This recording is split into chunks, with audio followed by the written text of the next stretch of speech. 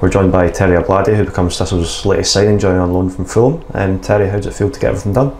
Um, I'm very excited to get everything done. I just want to get on the pitch and show what I can do, to be honest. Tell us how it came about. Um, to be fair, it's, it came about pretty sudden for me as well. Like I was after training, I got a message and told that yeah, you guys are interested, and I was interested to come here as well because you guys came to see me in training, and I was looking forward to coming here. So it's good that I got everything over the line. So, for people who haven't seen you play, what are your strengths? How would you describe yourself as a footballer? Um, to be honest, I'll just say I'm super quick and powerful, mainly. yeah. I'm putting the ball in the back of the net is my strength. Yeah.